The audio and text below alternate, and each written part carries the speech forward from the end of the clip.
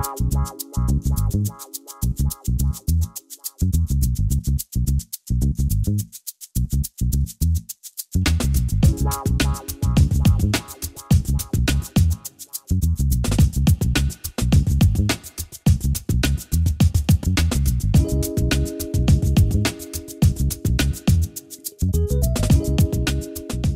Bonjour et bienvenue sur Côté Blog. Aujourd'hui, on profite euh, du temps neigeux pour repartir en été et découvrir le Québec avec euh, Le Québec, un voyage de découverte. Donc, on va rencontrer auteur et photographe Valérie Hébert et Stéphane Marchand.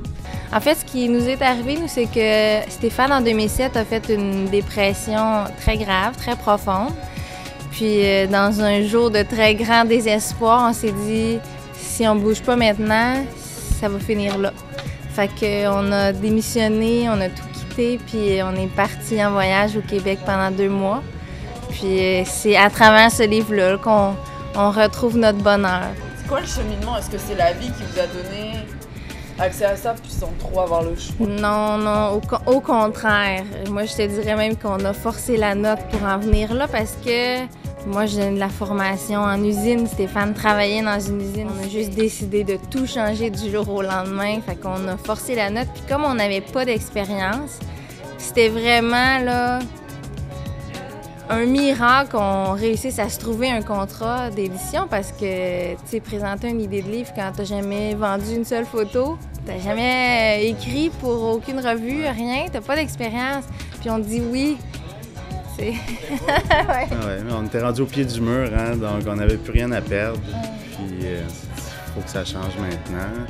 Puis c'est ce qu'on a fait. On a rencontré euh, Marc Alain de chez Modus Vivendi.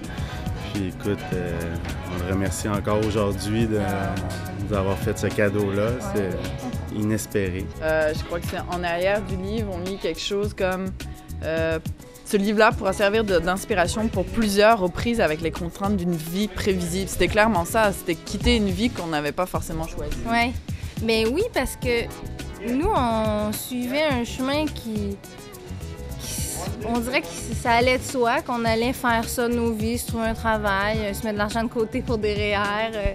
Finalement, c'est dit, c'est pas ça du tout qu'on veut, mais c'est ça qu'on fait.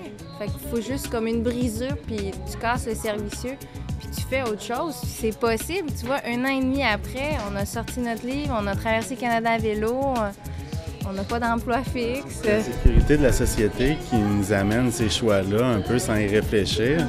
Puis à un moment donné, tu te rends compte que tu n'es pas heureux. Puis quand tu analyses, des fois, tu te rends compte que c'est justement ça. Toi, tu n'es pas bien dans cette roue-là.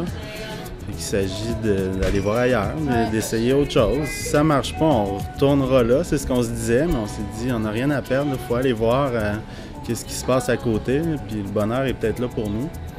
Ça a été quoi votre, euh, les moments forts, les images que tu préfères, les textes que tu préfères? Oh mon Dieu, ce livre-là a été écrit dans tellement d'insécurité puis d'angoisse que de le regarder, ça me fait pas me sentir bien. Ah oui? Fait que j'essaie de l'oublier présentement. J'en parle, on a des entrevues, mais je le vois plus, mon livre. Donc on dirait que Ouais, j'en suis éloignée maintenant.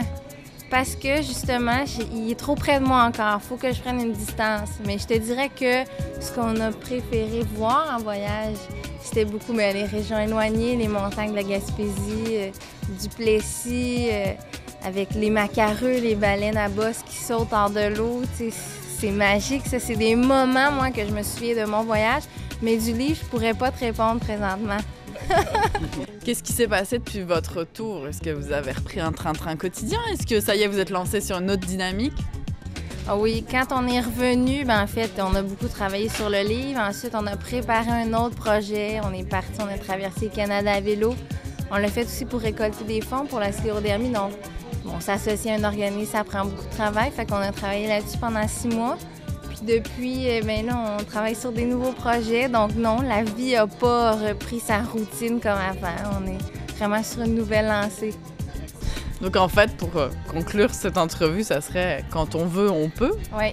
Ah, oui. Ah, ah Et c'est même facile. ouais. La preuve vivante.